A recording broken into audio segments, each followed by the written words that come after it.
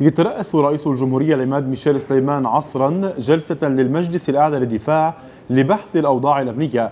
الرئيس سليمان طلع من الممثل الخاص للأمين العام للأمم المتحدة ديرك بلومبلي على أجواء التقرير الدولي بشأن تنفيذ القرار 1701 وقد نقل بلومبلي التقدير لجهود رئيس الجمهورية في الدعوة إلى الحوار ومساعيه للحفاظ على الاستقرار.